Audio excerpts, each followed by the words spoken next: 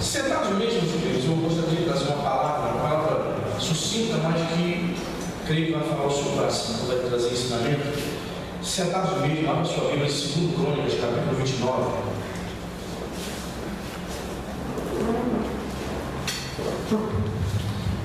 Versículos 6 e 7, apenas dois versículos só.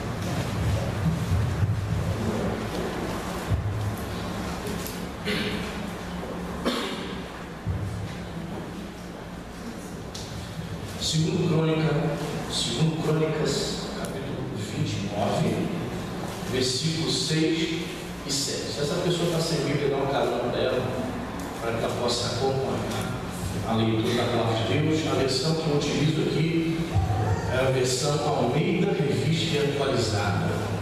Se a sua versão difere da minha, eu aconselho você a comprar essa versão Almeida Revista Atualizada.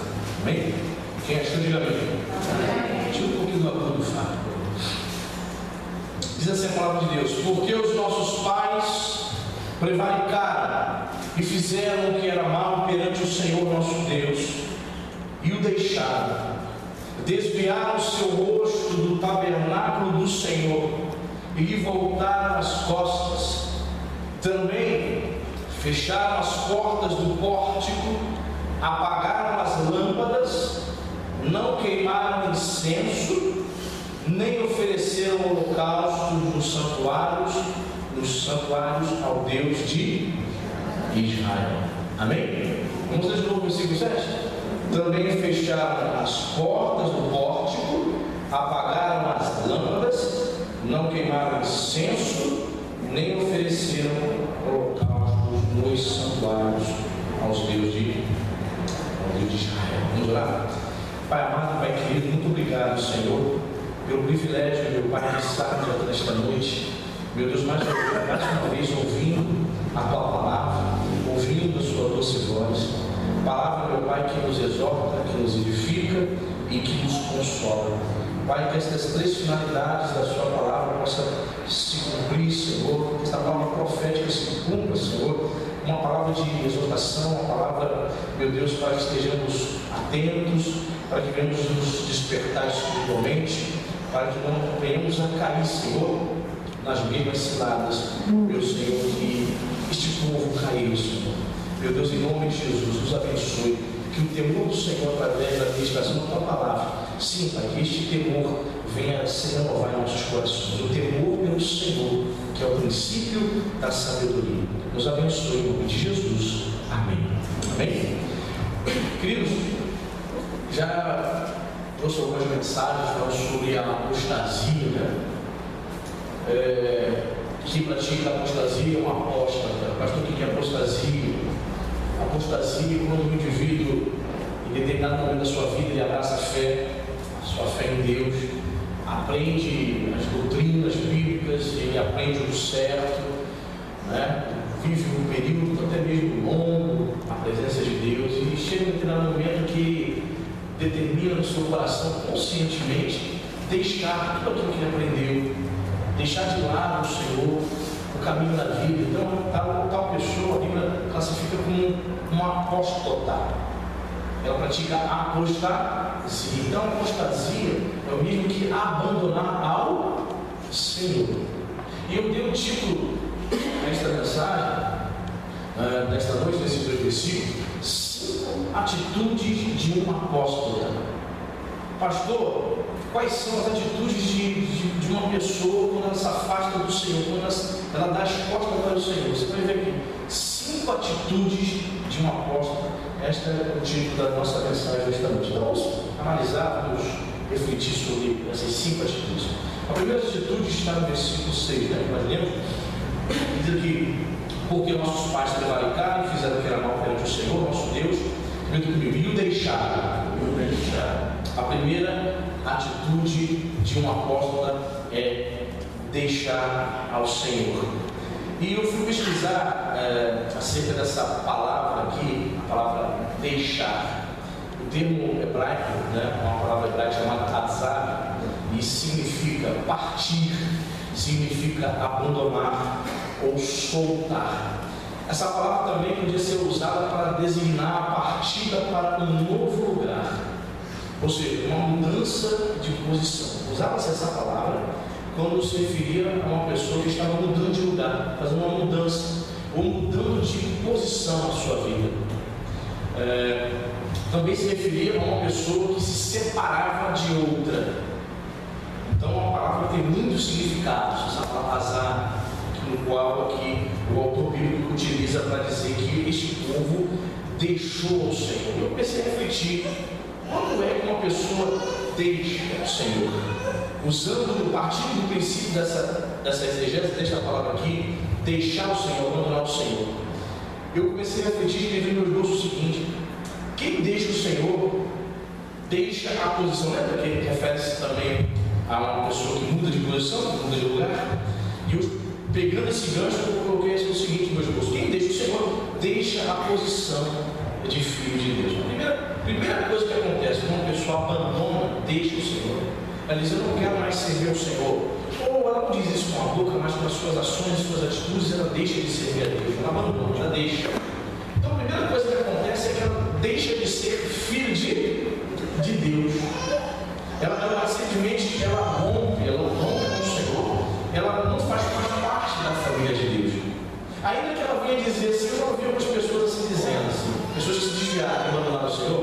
eu já ouvi a pessoa falando assim, ah, fulano está afastado dos caminhos do Senhor, está no pecado, está vivendo a sua própria vida, ela está fora, ela ainda é filha de Deus.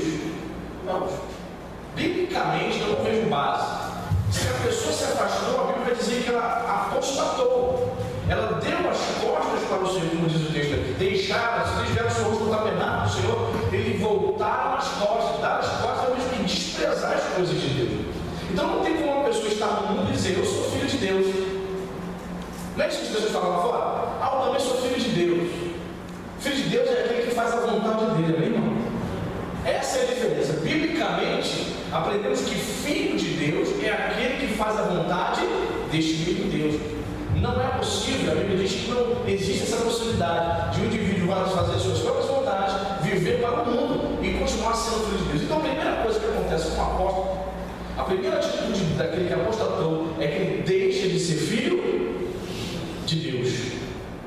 Ele perde essa comunhão.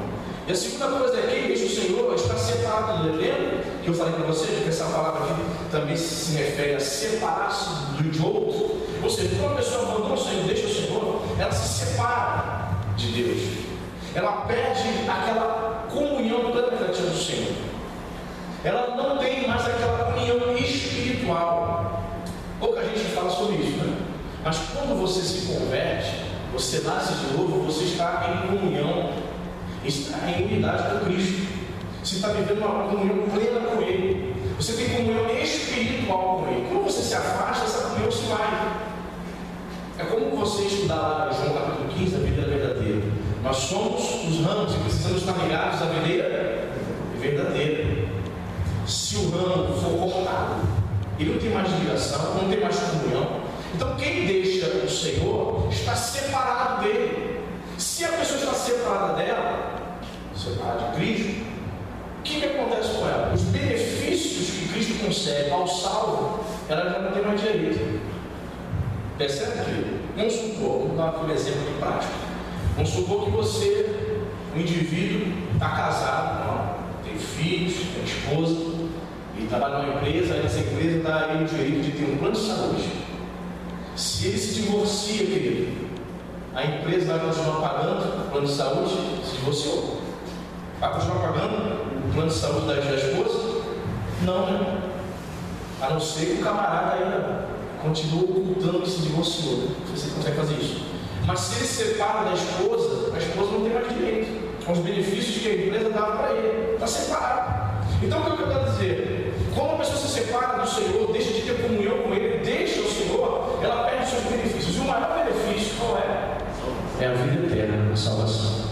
Existe uma coisa de crentes, irmãos, que ensina que o crente não perde a salvação. Querido, não acredite nessa mentira.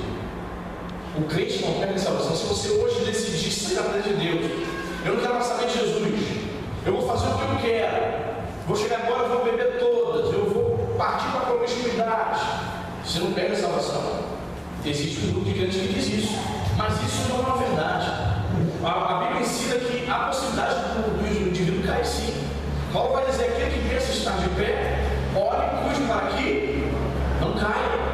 Então existe uma possibilidade da pessoa se desviar, existe a possibilidade da pessoa deixar de ser filho de Deus ou de separar-se de Cristo, de estar separada de Jesus espiritualmente. Está entendendo? A primeira atitude de um apóstolo é que deixa de ser filho de Deus, ele se separa de Cristo. A segunda atitude no versículo 7, diz aqui que o povo de Israel fizeram o seguinte, ó, também fecharam as portas do pórtico, as portas do alpendre, né? Dava acesso ao templo. Fecharam as portas. Foi a segunda atitude daquele povo que se apostatou da fé. Aqui eu posso fazer uma analogia. Lá no capítulo 10 de João, Jesus vai dizer: Eu sou a porta. Quando uma pessoa deixa o Senhor para abandonar a apostada da fé, a segunda atitude é fechar as portas.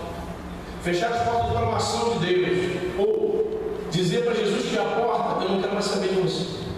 Eu não quero mais que o Senhor dite as normas para a minha vida. Jesus, que é a porta, que é o acesso à presença de Deus, ela rejeita. Pessoas estão fechando as portas, irmãos. Pessoas estão fechando as portas do reino dos céus. Pessoas estão fechando as portas para, si mesmas, para que não possam ter acesso ao reino de Deus pessoas estão rejeitando Jesus, que é a porta.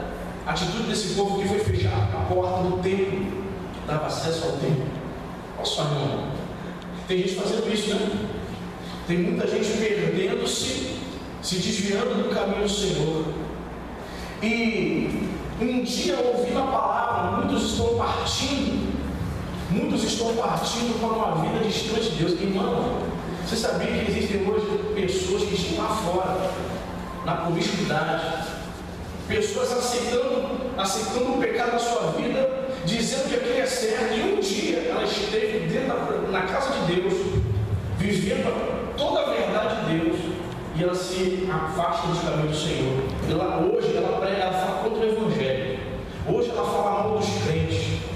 Irmãos, existe um sujeito um YouTube doido, um humorista, um camarada terrível. Ele zomba de pastor, eu não vou dizer o nome dele, aqui para você não ter curiosidade de ver. Um sujeito perdido. Então, no, nos vídeos dele de, de YouTube, de humor, ele faz o papel de um pastor, de um pastor corrupto. E nesse vídeo, ele fala absurdos, ele fala absurdo, ele finge que está falando em língua estranha. Ele fala, ele, ele, ele, ele tipo assim, ele pega os, os, os maus exemplos dos crentes, se aproveita disso e faz um humor negro. Eu falei, meu Deus do céu, e ele fala coisas, fala coisas que, tipo assim, de pessoas que um dia já esteve na igreja. Aí eu fiquei sabendo que ele foi, foi ser entrevistado pelo Caio Fábio, e nessa entrevista ele fala que frequentou a igreja, e magoar ele, saiu magoado da igreja. Mas irmão, meu Deus do céu, ele escarnece do Evangelho, escarnece da igreja, sabe? Falando mal, as piadas dele, falando mal, detonando da igreja. Ou seja, foi uma pessoa que um dia esteve na casa de Deus, mas se cumpriu aqui. Ele fecha o coração para Jesus é a porta. Ele fecha o acesso à presença de Deus para si mesmo. Então, por que eu estou falando isso, irmão? Porque muitos crentes são tentados, em determinado momento da sua vida, são tentados a abandonar a fé. Talvez você seja uma pessoa que, durante esses últimos dias aí, no ano passado, meses atrás, você tenha sentido o desejo de se afastar dos caminhos. Passou pela sua cabeça sair da igreja. Você foi tentado. Então, quando nós, sabe, rejeitamos Jesus, que é a porta, deixamos de ter comunhão plena com Ele. A terceira coisa que eu vejo aqui que eles fizeram, a terceira atitude de uma pessoa que se afastou da fé, é que eles apagaram mais as lâmpadas. Está escrito na sua Bíblia isso aí? Não está escrito na sua Bíblia? Eles fizeram o quê? Apagaram as lâmpadas. Lâmpada, não. Lâmpada é símbolo do Espírito Santo. O Espírito Santo se apaga da vida dela. É só você ver, irmão. Encontra uma pessoa desviada que um dia esteve contigo na casa dele. Põe na rua para você ver. Já muda. A fisionomia dela já muda. Você já vê que ela voltou a fumar, voltou a beber. Você vê que ela está com promiscuidade, até a aparência dela é transformada. Espírito Santo se apaga. Essas lâmpadas aqui, irmão, eram lâmpadas que ficavam naquele candelabro, né? Dentro do tabernáculo, dentro do templo. E o Senhor ordenava que essas lâmpadas tivessem, estar, deveriam estar acesas continuamente. Não podia apagar. É o símbolo do Espírito de Deus na nossa vida, meu irmão.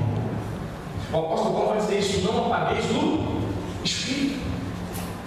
Dependendo da maneira como você está vivendo, é possível apagar a lâmpada. Lembra da, da mensagem do dia 31? Vossas candeias acesas. Aqui, as pessoas estão falando conosco, também, irmão? Apagaram as lâmpadas foi a terceira atitude de apostasia. De fazer tantas coisas erradas que chega um momento que o Espírito Santo se apaga. Aí sabe o que a pessoa fala? Eu não acho para a igreja não. Por que, fulano? Não vontade não. Você faz, não faz nada. Fala do louvor, não te importa. Fala da palavra, eu quero ir sabe? Não tenho mais aquele prazer, aquela alegria. Eu não tenho mais essa. Eu gosto mais. Eu não quero mais ter essa comunhão com um monte de gente. Não quero ver gente, não. Não quero não. Apagou. O Espírito Santo se apaga. E esse é o grande perigo, né, irmão? O crente vai vivendo a vida da sua própria maneira, que chega um momento em que o Espírito de Deus se apaga. E quando ela menos percebe, ela já se afastou do Senhor, ela se desviou dos caminhos. Deu as costas para o Senhor, como diz o texto bíblico aqui. A terceira atitude de um apóstolo é que ele apaga o Espírito de Deus na vida dele. Irmãos, eu estava conversando com uma pessoa, foi ontem, hoje, hoje é quinta, né? Quarta-feira, isso. Uma pessoa falando, né? Uma pessoa que essa pessoa tem acesso ao mundo gospel. Essa pessoa tem acesso, você conhece alguns artistas evangélicos. E ele falou assim, pastor, tá, tá, tá feio o nosso. Tá estreito, os cantores evangélicos, os caras estão subindo no culto, cheio de mulher fora, feio, fazendo filho fora. É pastor adulterando com a mulher dos outros, o negócio está feio. Aí ele falou uma coisa assim que eu fiquei meditando, ele disse assim, mas, pastor, pastor me falou, então, prestar atenção no que as pessoas falam, nossa.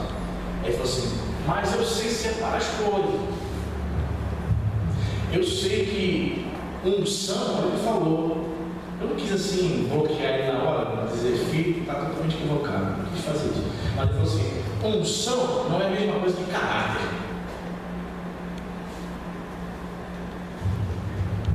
Refletiu? Pegou? Ele disse, unção não é a mesma coisa que caráter. Aí ele falou assim, então o camarada no pecado, está vivendo a vida de qualquer maneira e está ministrando louvor nas igrejas. Então eu vejo Deus, ele tem uma unção maravilhosa, eu vou chamar para aquilo. Seja o cantor ou o pregador.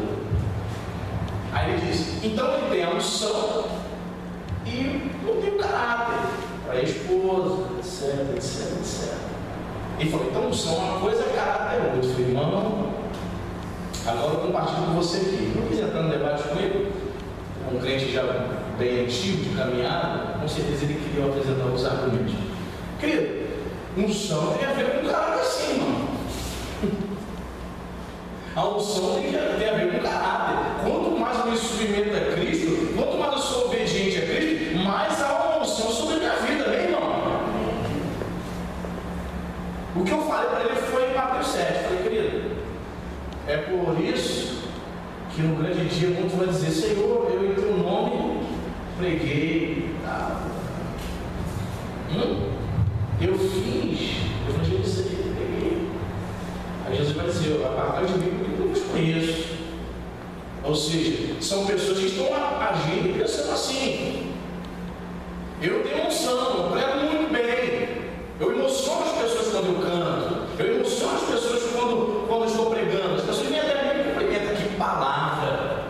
possam ter um caráter, uma vida toda de quebrado lá fora. É isso, irmão? Claro que não, querido. Pessoas que vivem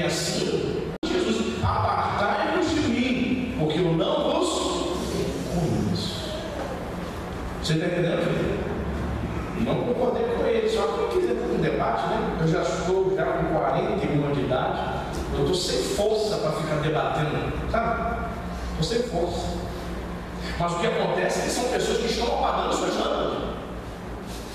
Irmão, não, querido. Não, querido. Isso não convém, isso não é bíblico.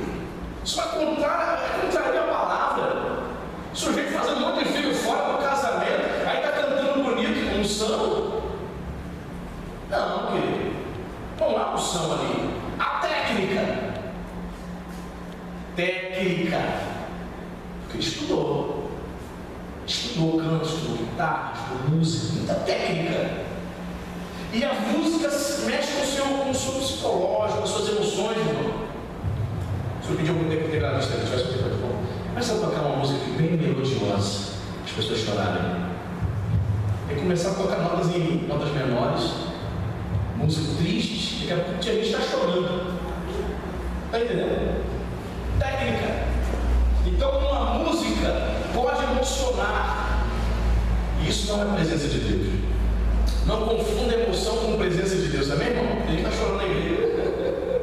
Sentiu presença. Sentiu nada, irmão. Foi, foi a melodia. A música é bonita, a melodia é bonita, te emociona. Então tem pessoas dizendo que isso é emoção, não é, querido. Não é. Então quanto mais eu estiver sendo submisso a Cristo, mais unção eu terei. Então as pessoas estão dizendo muitas coisas irmãos, mas você tem que ficar atento, amém, irmão? Sou 20 anos de crente, né? 20 anos de crente, eu cheguei para você falar umas coisas dessas, você tem que ficar atento. Ah, unção é uma coisa, caráter é outra. Não, se eu tiver um caráter de Cristo maior, a unção de Deus sobre a minha vida. Amém? Foi a terceira atitude da apostasia eles apagaram mais lâmpadas. Quarta atitude, o que, eles fizeram? Não queimaram incenso. Você sabe que incenso é símbolo da oração, né? A linha de comunicação com Deus, que é a oração, eles cortaram de cara. Não queimaram mais incenso. Quando o indivíduo ele apostata da fé, ele se desvia do Senhor, uma das coisas que ele faz é cortar o quê? A comunicação com Deus. Ele não ora mais. Por vários motivos, né? Eu não estou mais na igreja, por que eu vou orar? E Satanás também vai colocar no coração dele. Você está no erro, você não pode mais na presença de Deus. Não ore mais, não fale mais com Deus. Ela se sente envergonhada, ela se sente afastada, indigna. Então ela corta relacionamento total com Deus. E a oração é vital, amém, irmão? Não existe um verdadeiro crente que não tenha vida de oração. O crente precisa ter vida de oração. A pergunta que eu faço para você, talvez você tenha esse, esse bom hábito. Quando você acorda, a primeira coisa que você faz é o que, irmão? Orar. Pastor, não tem esse hábito não. Eu faço muita coisa. Eu vou tomar café, vou na rua, compro pão, vou trabalhar.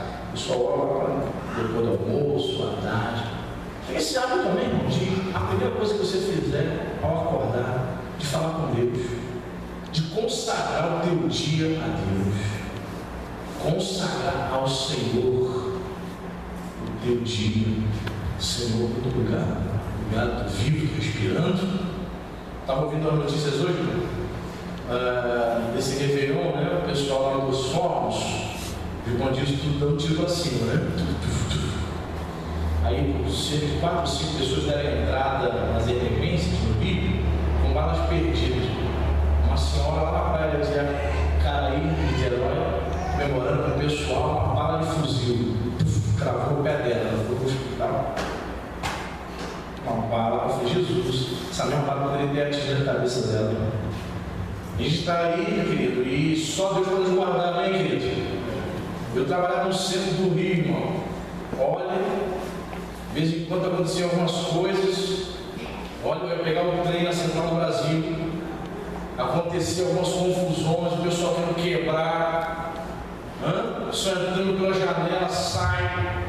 Foi Senhor da glória, onde estou? Parece uma guerra.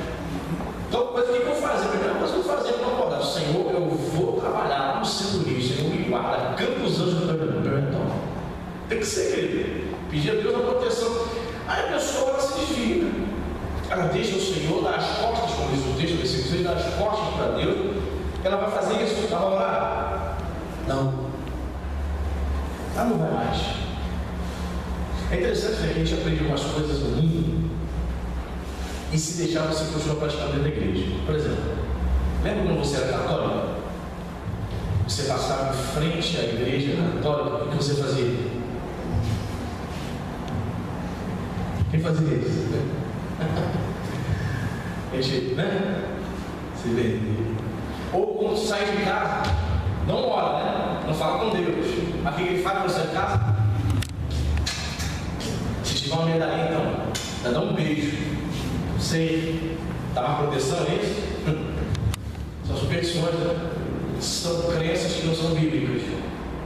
Mas a minha Bíblia, a tua Bíblia vai dizer que o crente precisa se comunicar com Deus através da oração. O crente, ele não reza.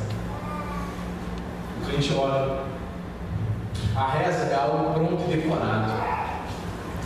Salve Rainha, creio Deus Pai, Ave Maria cheia de graça. O crente não, ele tem relacionamento com Cristo. Então, no seu relacionamento, ele dialoga. Então, isso é uma oração. Quando ele dá as costas para Deus, ele apaga a lâmpada do Espírito, que, ele faz? Ele não queima mais incenso. Ele corta. Ele não tem mais desejo de falar com Deus. O desejo de orar, isso, irmão. O desejo de orar se dá porque o Espírito Santo veio habitar dentro de você, amém? O teu espírito estava morto. O Paulo vai dizer isso no Efésios 2, né? Que o Espírito Santo vivifica o espírito nosso que estava morto. Ele estava morto, não dialogávamos com Deus, não tínhamos comunhão com Deus. Quando o Espírito Santo vivifica, traz vida ao nosso espírito que estava morto, o que, que acontece? O Espírito Santo que habita dentro de nós nos impulsiona a falarmos com Deus, a termos comunhão com Ele. Se eu perco a comunhão com Ele, o Espírito, meu Espírito se apaga, porque eu apaguei a lâmpada, não foi isso? Apaguei a lâmpada do Espírito, então meu Espírito que estava vivo, ele morre novamente. Então ele não tem mais desejo de falar com quem está entendendo isso. Veja isso, a dinâmica, né? Que coisa. Então esta é a, é a quarta, não é isso? É a quarta atitude de uma pessoa que apostata, que se desvia da fé. E a quinta atitude qual é? Diz o texto aqui: nem ofereceram holocaustos nos santuários ao Deus de. Holocausto é o mesmo que sacrifício, sacrifício de animais. Ou seja, quando o indivíduo se afasta das costas para Deus, Outra atitude, a quinta atitude dele em relação a Deus é que ele não oferece mais sacrifícios espirituais para Deus. Vou te dar um exemplo. Por exemplo, ele não tem mais força para perdoar. Ele não tem mais razão de ser. Por que eu vou perdoar você? Era o Espírito Santo, era a palavra de Deus que ensinava ele a perdoar o próximo, não é isso? E está afastado, para que eu vou perdoar? Ele não oferece mais sacrifícios espirituais. Não perdoa, para que eu vou perdoar? Eu não tenho mais comunhão com Deus, eu não tenho mais nenhuma a obrigar. Está entendendo? Ele não perdoa mais. Santidade, ele não oferece mais esse sacrifício. Outrora ele estava na igreja, ele não fumava, não bebia, só tinha só sua esposa, mas as costas para Deus. Ele não tem mais necessidade de oferecer esse sacrifício espiritual. Para que ser santo? Aí ele não fala palavrão, ele começa a falar palavrão, vocabulário, linguajar volta. Ele, ele entendia pela palavra de Deus que a promiscuidade era algo errado. Hoje ele já acha legal, tem sentido. Irmãos, eu estou assim, pasmo, com a rede de televisão. Eu não sei se você sabe essa novelinha Malhação, das 5 horas da tarde. Você já, já ouviu falar? É uma novelinha que todo ano é, ela é como se fosse um seriado ininterrupto, né? ela, ela é transmitida desde o ano de 1995, como se fosse um laboratório dos atores jovens da Globo, preparando eles para a novela das nove. Então os novos atores surgem ali. Então aquela novelinha de malhação. Então todo ano tem uma, uma linha, né? tem um tema. Irmão, sabe qual é o tema deste ano de 2017, o último agora? Viva a diversidade. Viva a diversidade. E uma menina de 20, 21 anos, que fez até papel, papel da Chiquitita do SBT, ele estava com 15 anos, passaram 6 anos, estava com 20, 21 anos. 5 horas da tarde, o primeiro beijo lésbico da TV brasileira, 5 horas da tarde. 5 horas da tarde. É o fim do mundo. Um horário onde as crianças, os adolescentes, os jovens estão assistindo. E as, os adolescentes, as crianças brasileiras, olham a vida daqueles jovens ali e acham que tem que ser a mesma coisa com ele. Né? Por exemplo, um monte de jovem morando num apartamento, come, bebe, tem aqueles carros, tem carro, só vive na academia e numa praia e não mostra onde vem a fonte de renda. Ninguém trabalha. Aí o camarada pobre acha que também vai morar no apartamento da barra, vai comer, beber, ter carro na academia e surfar sem dinheiro. Pobres veem e pensam isso mesmo. E detalhe, primeiro beijo, a atriz se meteu ser isso, deu o primeiro beijo, na outra na boca, 5 horas da tarde. Olha só. Aí vai ainda ao ar a cena em que as duas vão se relacionar sexualmente. Aí a matéria dizendo assim, bem, pelo horário, é claro que não vai aparecer o ato em si. Da tarde, irmão. Não vai aparecer o, o ato em si. Mas a cena que vão colocar dará a entender. Olha como que a estratégia. Elas conversando com a outra, eu vou para sua casa. O celular, vou para a sua casa. Para estudar. Aí a mãe não sabe. Aí a amiga chega em casa, não, não, vem estudar para fulaninha. Aqui bom, pode ficar à vontade. Aí as duas botam ser no celular, enfim, vai rolar. Aí a cena corta. Dando a entender que as duas vão ficar estudando? Não, vão se relacionar sexualmente. 5 horas da tarde é isso que a Rede Globo está divulgando, proclamando. Então, o indivíduo que dá as costas para Deus, outrora na igreja, vivendo a palavra, ele sabia que isso era errado. Agora, o que ele diz? Não tem nada a ver, cada um com o seu, cada um. Viva a diversidade. Se afastaram de Deus. Fecharam as portas do pórtico. Ou seja, Jesus que é a porta foi ignorado. Apagaram as lâmpadas do Espírito Santo, não dirige mais, não fala mais com ela. Não fala mais com essa pessoa. Não queimaram incenso, ou seja, a comunicação através da oração foi cortada. Não ofereceram holocausto aos soldados de Israel. Ou seja, nenhum sacrifício espiritual mais ela vai oferecer. Ela não se sente mais obrigada a fazer isso. Não estou mais na igreja, para que, que eu vou ter um linguajar puro? Eu não estou mais na igreja, por que, que eu serei fiel à minha esposa, meu esposo? Eu não estou mais na igreja, o que, que tem a ver com um tapinha no cigarro de maconha? Existe um, um, um, um youtuber aí, o Felipe Neto, fica atento aí, você que é pai e tem filho adolescente que fica vendo esse camarada. Esse Felipe Neto tem milhões e milhões de inscritos, ele ganhou uma fortuna das visualizações, ele ganhou uma fortuna do YouTube por conta de milhões de visualizações adolescentes. É um camarada que apoia o aborto. Garoto novo, tem 20 e poucos anos, apoia o aborto. E ele influencia a, a audiência dele, dele essa garotada, 12, 11, 10, 13, 14, 15, 16 anos. Influenciando, ele, tá, ele, ele promove o homossexualismo, promove o aborto. Um dia ele viu o pastor Marco Feliciano lá, gravou um vídeo com ele. Ele não entrevistou o pastor Marco Feliciano. Ele tentou fuzilar o pastor Marco Feliciano. Ele foi de uma ignorância, foi de uma, sabe, de uma, uma arrogância tão grande. Ele não entrevistou. Ele tentou massacrar o Feliciano. O Feliciano saiu bem, muito bem entrevista. Então, um camarada que tem influenciado aí. A última do Felipe Neto é a seguinte: fica atento, você para no Estudado Nacional do Filho, para ver se não tem lá. Todo vídeo de Felipe Neto vai tocar o sininho toda semana pode. Ele disse o seguinte, que o jovem menino pode ser feminino. Cuidado, hein?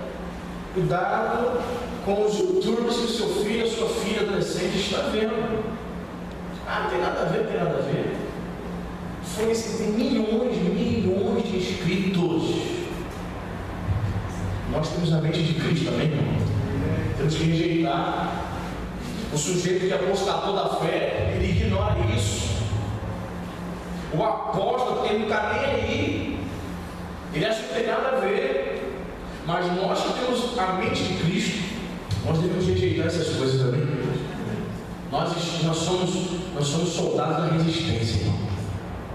Jesus está voltando e nós somos a resistência. Temos que resistir até o fim a resistir do inimigo. Amém, querido? Em todos os ataques, se você estudar a Segunda Guerra Mundial, quando Hitler é, invade a França em 1940, havia o governo se entrega. Só que havia alguns, alguns é, rebeldes, alguns franceses que não se entregam. O governo se entrega. A Alemanha ocupa a França. Hitler desfila diante da Torre Eiffel. Mas o que acontece? Havia uma resistência francesa que não aceitou. Eles lutaram até o último homem. Não venceram, não arrumaram nada. Mas eles não aceitaram. Eles resistiram. Então, querido, diante de toda a massificação do erro, do pecado, e de um grupo enorme de pessoas que saíram da igreja, que hoje somos apóstolos, muitas vezes nós olhamos e parece que somos pequenos, parece que somos poucos, não é isso? Parece que estamos sozinhos nessa batalha, nessa luta. Parece que nós que estamos defendendo a fé e a verdade, parece que nós que somos os errados. Mas eu quero dizer para você que nós somos a resistência, né, irmão? Nessa guerra, eu e você somos a resistência. Eles não vão nos engolir, amém, igreja? Eles não vão dominar nossa mente. Temos a mente de Cristo. Infelizmente, nós temos que estar com o coração preparado, resguardado, tanto das pessoas que nunca se converteram, quanto dos apóstolos. Porque são pessoas que um dia estiveram na casa de Deus, conhecem a Bíblia como você, e hoje eles estão do outro lado, voltaram para o outro lado. Você está entendendo? Só para concluir aqui, versículo 8 que a gente não leu inicialmente, mas olha o que aconteceu com eles, pelo que veio grande ira, grande ira, pelo do Senhor sobre Judá e Jerusalém, e os entregou ao terror, ao espanto e aos assobios, como vós estás vendo, com os próprios olhos. Fala-se muito que Deus é amor. Deus é amor, hein? Mas se o indivíduo insistir em provocar a ira do Senhor, Deus entrega ao terror. É o próprio Deus que nos entrega. A pessoa não quer. A pessoa não quer se voltar para Deus, ela não quer ficar do lado do bem. Ela quer ser amiga, companheira do diabo. Então Deus faz o quê? Entrega. Entrega. Rejeitou Jesus à porta, apagou a lâmpada, cortou o relacionamento, queima uma licença e oferece mais sacrifícios espirituais. Fazer o quê? A ira de Deus sobre eles. Então, queridos, aqueles apostados da fé, o que está resguardado para eles, o que está reservado, nada mais, nada menos, é a ira de Deus. Um dia Jesus vai voltar, amém? Que nós possamos manter as nossas lâmpadas acesas.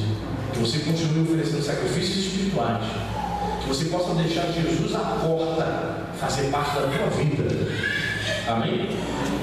E que você possa, em nome de Jesus, queimar incenso. Amém, querido? Amém. Vamos queimar incenso, Deus, em nome de Jesus.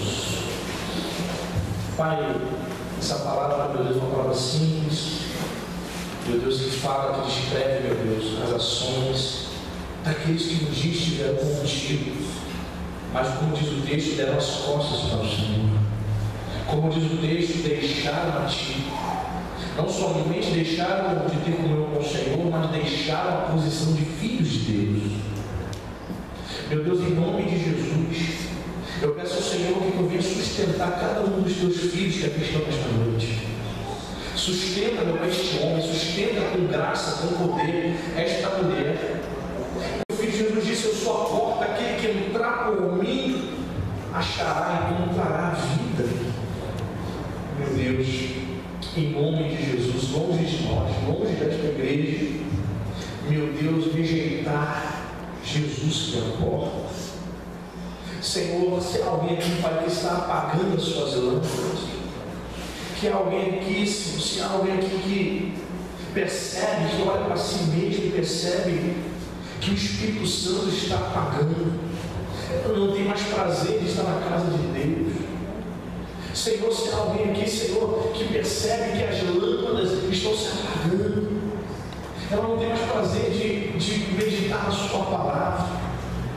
Senhor, ela não tem mais prazer de falar com o Senhor. Meu Deus, em nome de Jesus, acenda de novo as lâmpadas, Pai. Acenda novamente. Meu Deus, que este fogo venha queimar continuamente até a tua volta. Meu Deus, muitas pessoas estão dizendo, ah, não tenho mais vontade de ir para a igreja. Eu não tenho vontade mais de estar entre irmãos. Porque a lâmpada apagou-se. Em nome de Jesus, Pai, que essa lâmpada se reacenda novamente. Em nome de Jesus Cristo, que a graça, que o fervor espiritual volte na vida do meu irmão. Que o fervor espiritual volte na vida desta minha irmã. O fervor que havia no meu pai no início, que ela possa voltar ao primeiro amor, Jesus. Ah, meu Senhor, aqueles que se apostataram, aqueles que deixaram o Senhor, não oferecem mais o local, não oferecem mais sacrifícios. E muitas pessoas estão dentro da igreja que não oferecem mais sacrifícios espirituais ao Senhor. Todos eles foram extintos. Ela não perdoa mais, ela não busca mais a santidade. Ela não oferece mais adoração ao Deus verdadeiro. Ela não consegue adorar o Senhor nem com cântico, nem com sua própria vida. Meu Deus, em nome de Jesus. Se esse meu irmão, esta minha irmã, sempre está nesta noite, não consegue mais perdoar. Se ela tem ignorado a santidade, se ela não tem, meu Pai, mais praticado os sacrifícios espirituais, Senhor, a oração é que nesta noite ela volte a oferecer sacrifícios espirituais ao Senhor. Em nome de Jesus. Este meu saia daqui, Senhor, meu Deus, com o perdão no seu coração, com o desejo de ser santo tu és santo, com o desejo de viver uma vida de adoração. Em nome de Jesus. Senhor, nós não queremos te deixar. Nós não queremos te abandonar. Este povo te deixou, este povo deu as costas para ti, demonstrando total ingratidão. Nós não queremos ser gratos para contigo, nós queremos oferecer de corações gratos por tudo que o Senhor realizou na cruz do Calvário por nós. Desperta, meu Pai, tua igreja. Desperta a tua igreja. Para que nós não caiamos, Senhor. O mesmo erro, Senhor. Para que nós venhamos a praticar as mesmas atitudes deste povo apóstolo. Sustenta, meu Pai, teus filhos. Sustenta essa igreja, Pai. Aqueça os corações. Que o Espírito Santo venha reacender o fogo, a chama do fervor espiritual na tua vida, em nome de Jesus. Em nome de Jesus, Pai. Que esta igreja seja cheia da tua glória, seja cheia da tua presença. Hoje e para todo sempre, em nome de Jesus. Que você possa dizer amém. Diga graças a Deus. Amém.